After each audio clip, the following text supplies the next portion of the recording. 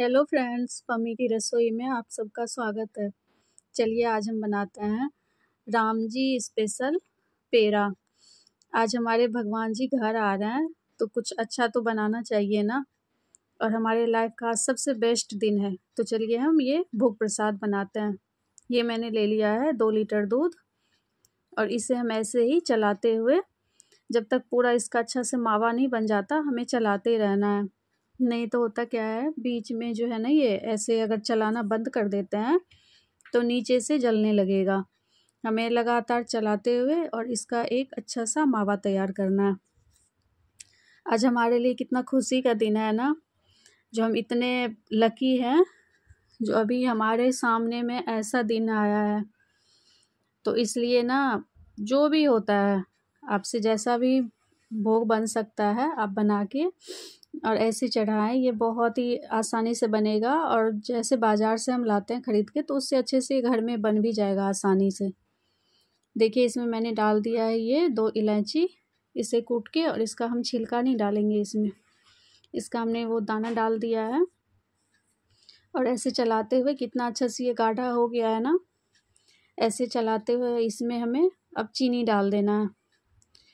और ये चीनी ऐसे चलाएँगे तो जब इसको हम बराबर चलाते ही रहना है, इसे चलाना जब बंद करेंगे तो ये नीचे से जलने लगता है फिर। चलाते हुए देखिए कितना अच्छा आया है ना इसका कलर। अगर इसमें चाहे ना आप तो हल्का जो पीला वाला कलर होता है, फ़ूड कलर, आप वो भी डाल सकते हैं। मैंने इसमें कलर नहीं डाला, मैं ऐसे ही बना रही हूँ। देखिए ऐसे चलाते हुए हमें इसका एकदम अच्छा सा जो है पेड़ा वाला मावा तैयार करना है जिससे चलाते हुए जब ये इकट्ठा होने लगेगा ना तो लग जाएगा जो हाँ पेड़ा के लिए अब ये मावा तैयार हो गया है। और अगर आपके पास टाइम नहीं है तो आप मार्केट से भी मावा ला के फिर उसमें ऐसे चीनी और इलायची ये सब डाल के फिर आप उसका भी पेड़ा बना सकते हैं। लेकिन मैं ये पेड़ा घर में बना रही हूँ तो ये तो और भी ज़्यादा अच्छा भी बनेगा घर का दूध का है आ, बन भी जाएगा आसानी से। इसमें ज़्यादा कोई मेहनत भी नहीं पड़ता है। ये देखिए हमारा मेवा बनने लगा है। ऐसे ऐसे हम चलाते हुए अच्छे से पूरा सूखा मेवा तैयार करेंगे। ने गीला गीला में फिर उसका पेड़ा नहीं बनेगा। ये देखिए मेवा हमारा अच्छे से बन गया है। थोड़ा सा इसे हम और भून लेंगे इसमें।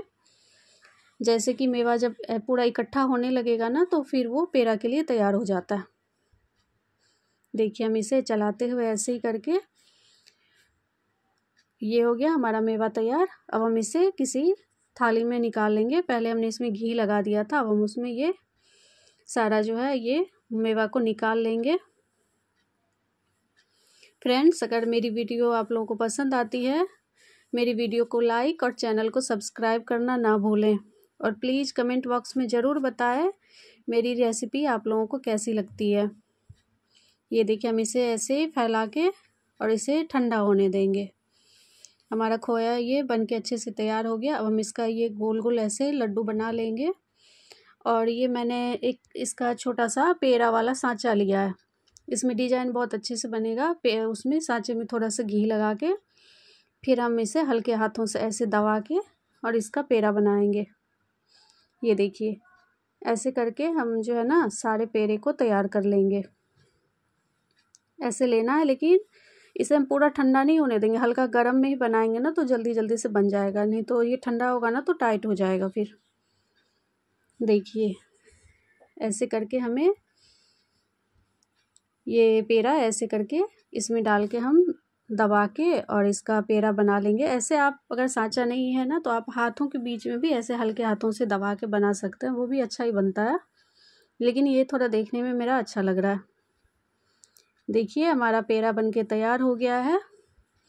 ऐसे ही आप पेड़ा बनाइए और भगवान जी को अच्छे से भोग लगाइए। जय श्री राम।